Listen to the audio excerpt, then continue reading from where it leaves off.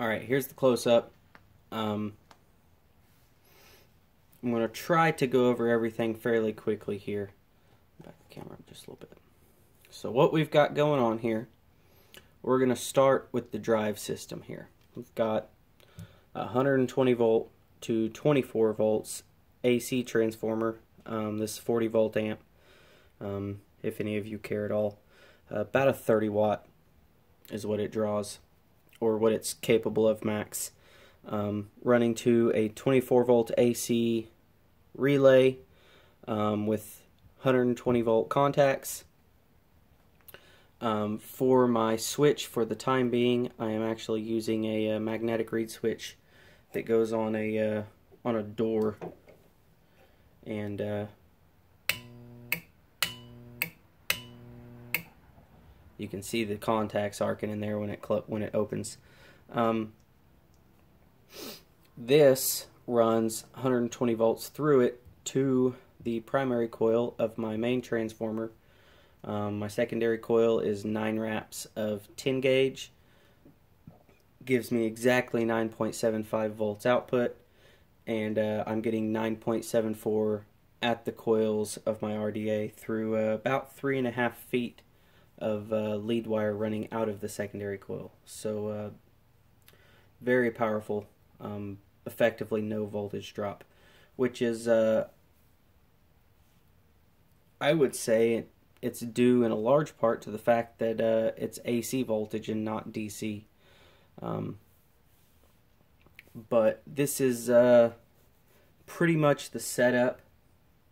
The only thing left is the uh, rheostat which I can't install until I actually get a housing set up for this, um, which hopefully will be done tomorrow. Right now, I've got the uh, main transformer connected to its own 120 volt power source and the uh, 24 volt transformer connected to its own 120 volt power source. Um, I could have gone with an actual 120 volt um, relay that was designed for 120 volts at the uh, coil itself. Um, the contacts are rated for 120 volts, but um, I salvaged both the relay and the transformer out of an old, uh, oh, what was it? Central heat and air unit that uh, we had laying out back behind the shop.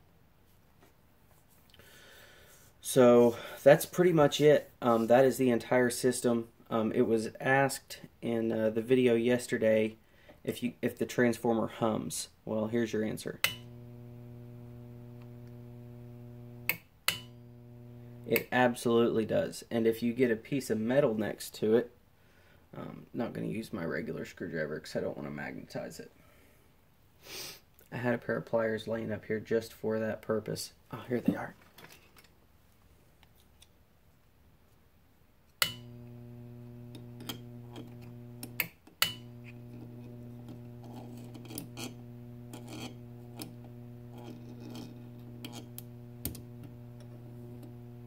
Well, they were vibrating really good.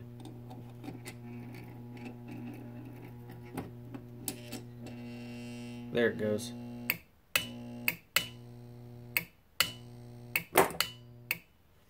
So, uh, I would say it's a tremendous success.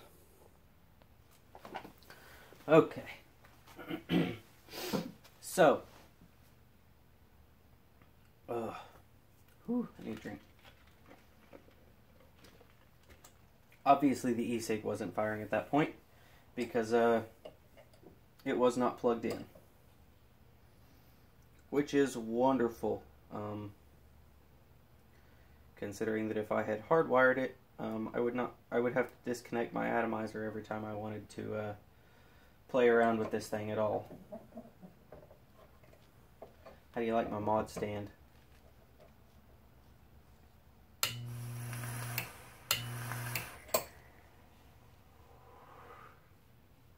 Oh, this thing's awesome.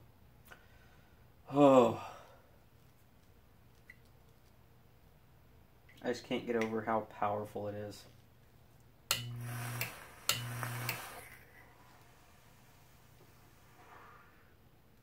Oh. Okay, so this thing works incredibly well. Um, my total cost on this was about 10 bucks. Um, I got very lucky being able to uh, source this stuff and um, working in a place where it's easily accessible. And of course, all the vapor is going to jack up the video now. That is actually a huge challenge when you are uh, recording for stuff like this. Um, I don't think about it a lot of times, but um, going back and looking at the videos, sometimes I'll have to scrap a video and restart because the camera completely loses focus. I'm really hoping it doesn't here. Um, so, I have enabled um, fan funding on the YouTube channel now. Um, I got looking through everything. Just I pulled out the laptop, which I almost never do, and uh, was looking through everything and figured out that I am uh, eligible for fan funding. So I turned it on. I figured, what the hell? Um, if you guys want to throw a couple bucks towards the channel to uh, improve the quality of the videos and uh, give me the ability to get a little better camera equipment and such, awesome. Good on you. You're uh, you're a rare breed. If not, okay, I don't really care. um, I don't think any less of you. I, I really couldn't care less. Um, I've gone this long without it. Not like it's going to bother me. Um, I love that. Uh, it does allow for the opportunity um, to be able to put more uh, more time into it and uh, potentially eventually get a decent camera where I can actually do some good quality footage and uh,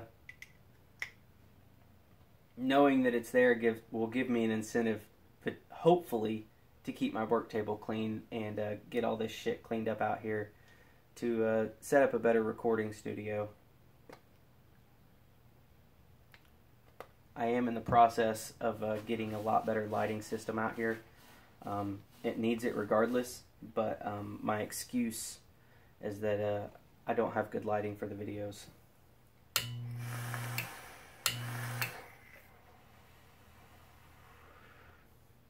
Oh. Um, it was suggested that I put a foot switch on this. So uh, once I get everything mounted and wired up the way I like it, I will put a uh, 5 millimeter quick connect in place of this and um, I will build a foot switch for it. I think that is a fantastic idea. I don't know why I didn't think of that, but I am very grateful for the uh, suggestion in the first place. That is an awesome idea. Um, I cannot steal the foot switch off of my uh, high-speed Clapton rig. Um, it is a variable resistance foot switch, which means that I would have to depress it to a certain point before the relay would activate. And it actually does take a fair bit of effort to push the switch. Um, I'd rather just make one with a straight ka-chunk, ka-chunk. Um, the rheostat will get hooked up when everything's done. Um, I'm going to take all this to work with me tomorrow and start working on it when I can.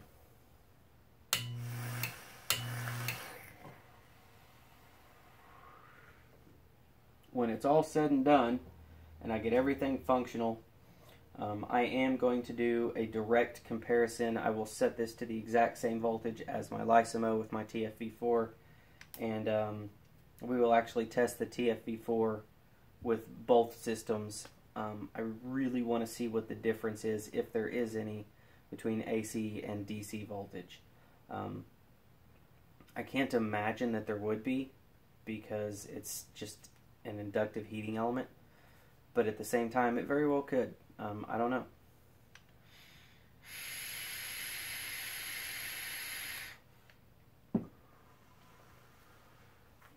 That was the main reason that I did this in the first place. Um, but there it is. It's finished. It works great. Um, I've had zero issues. Uh, the only issue with using the uh, magnetic reed switch like this to turn the relay on is if I don't get close enough, I won't do it now. Um, I had it a couple times where I didn't get the magnet for the reed switch uh, positioned properly, and uh, the relay just bounced on and off. Scared the crap out of me first time I did it.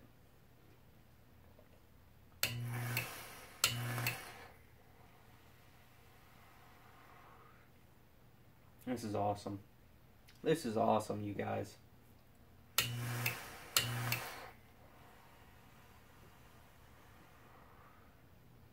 Um, I did the math.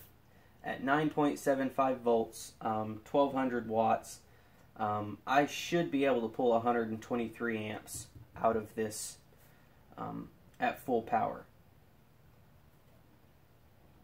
Um, obviously, in the past, I have uh, made stupid high wattage mods. Um, this has the potential for that, but uh, it is completely unnecessary. Um, and of course, once I put the rheostat in place, it's not it's not going to be capable of running uh, 1200 watts.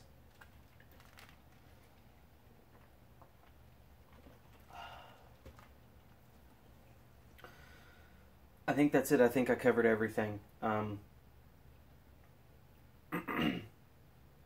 let me know in the comments uh, what your thoughts are on the fan funding. It is not the same as Patreon. Um, you do not have to do anything with fan funding if you don't want to. Um, I may at some point, if enough people were interested in it and wanted to get involved in it, I would, I would be open to a Patreon. But um, I don't like the idea of having to pay to view the content. Um, that's the whole point of YouTube is to be able to watch it for free.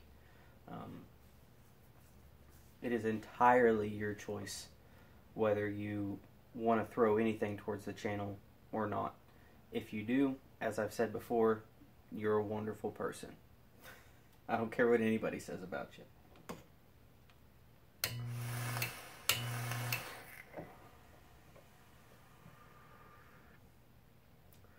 You can rest assured that uh, it will go towards um, making better content for the channel in some form or fashion.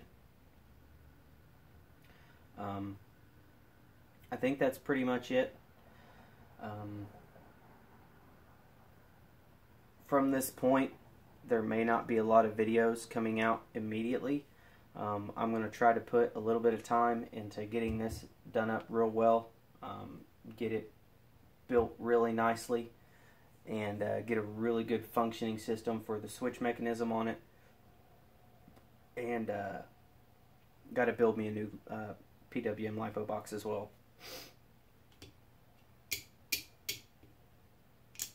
I won't lose it that way.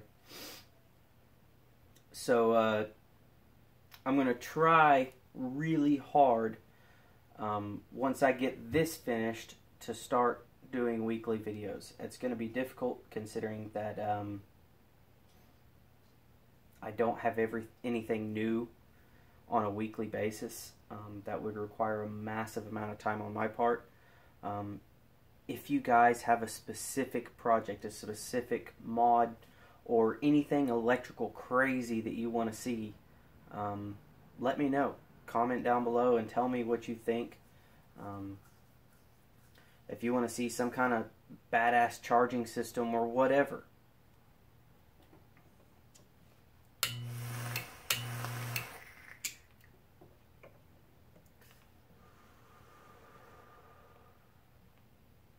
Uh, this is purely for my enjoyment, but um,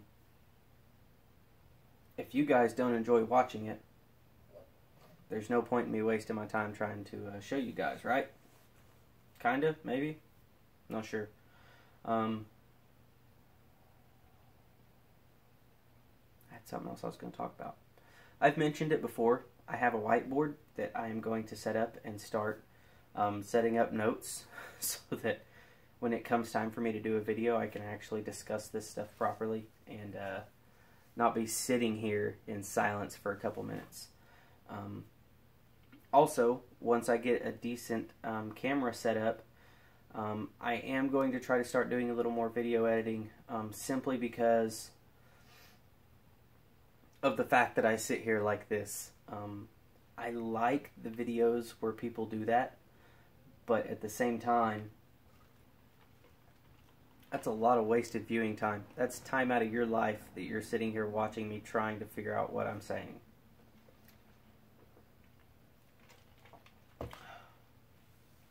I can put all relevant information on a whiteboard and uh, tell you as I go, oh, I set this out so I wouldn't forget. Um, this is a full wave bridge rectifier, um, 12 amp max. I'm going to set this up along with this system. Um, with the 24 volt, it'll actually be uh, 22 and a quarter after a voltage drop through the full wave bridge rectifier to run my 100 watt buck converter that I built for the or that I got for the uh, bug out bag. Um, that will give me a really good charging system I can set up to run uh, to charge my batteries off of that don't require being balanced. Uh, specifically, my big 18,000 milliamp hour 18650 battery packs, which uh, take multiple charge cycles off of my current LiPo charger so that will be something that is incorporated as well. Um, I haven't figured out how I'm going to do that yet. There will be more than enough room to add that after the fact without any major issues. Um, right now, the 120 volt, 24 volt, 224 volt um, transformer is just sitting here running. Um, it's on all the time all I'm using it for is activating the relay. It's designed to run nonstop 24/7. It did for I don't know the central heat and air unit that I pulled it out of was 30 years old. So I mean, it's got to tell you something.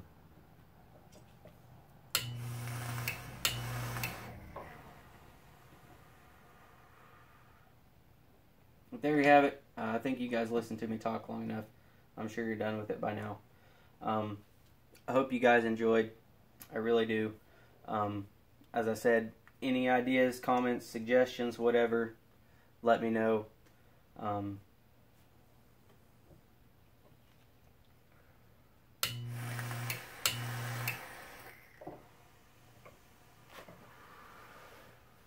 vape on, guys.